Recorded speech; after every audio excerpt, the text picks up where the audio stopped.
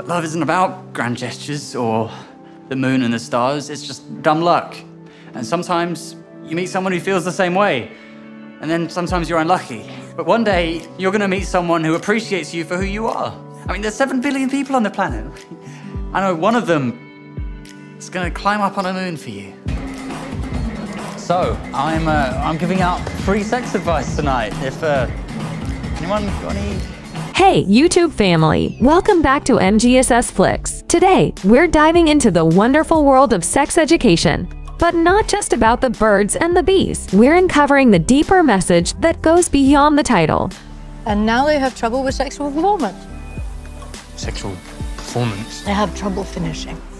Otis, it's perfectly normal for a younger man to be sexually attracted to a mature woman. In fact, when you stigmatize his choice, then you feed into an unhealthy narrative on masculinity in middle age. I'm Natalie, and if you're a fan of Otis, Maeve, and the whole gang, you're in for a treat. Before we get started, make sure to hit that subscribe button and ring the notification bell so you never miss out on our content. Intercourse can be wonderful, but it can also cause tremendous pain.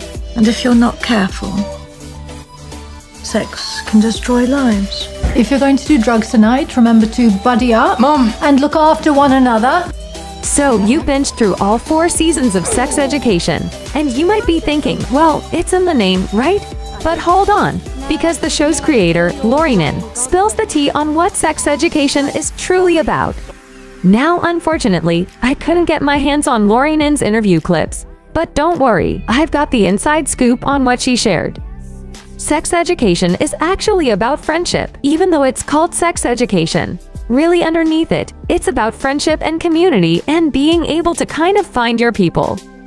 Friendship, community, now that's something worth exploring. From Otis and Eric to Amy and Maeve, the series weaves a rich tapestry of relationships that go beyond the bedroom. I couldn't survive if I lost you.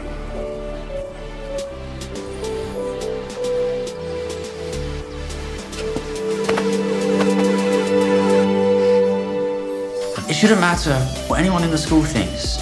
You are who you are. Don't let anyone take that away from you. Be proud of your penis and your heritage, because neither are going anywhere. You should work with what you've got. What are you doing here? Getting the bus? We're all getting the bus.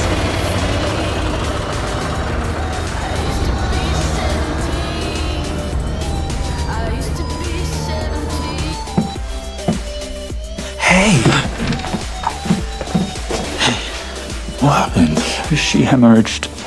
Women do tend to feel more shame surrounding masturbation than men, feeling that it's, it's sort of taboo or dirty. Which it isn't. You should probably figure out, you know, what works for you and your body. So you're prescribing a wank? Yeah. Gabby Queen! I win! I win! No, you don't. You have to get rid of the queen. You lost. Sorry. I still don't get this game. Let's not forget the sex clinic, the beating heart of the show. It's not just a plot device for steamy scenes. It's a gateway to genuine, intimate connections. And trust me, it's more than just sex stories of the week. Just take my bloody hand.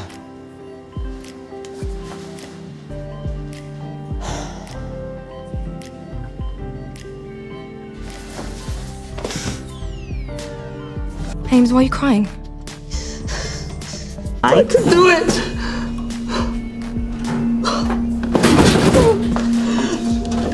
I'm sorry, I'm sorry, I'm sorry, man. She can't. She can't die.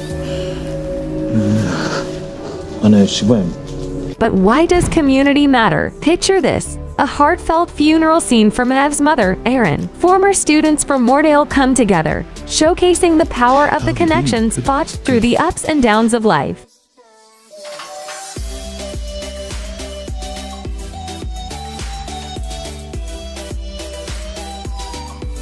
Adam, you have to believe that you deserve good things. And Adam, you have to love yourself. Mm-hmm. And there you have it. the true meaning behind sex education. But what do you think? Have you discovered a deeper layer in the series? Share your thoughts in the comments below. If you enjoyed this video, give it a thumbs up.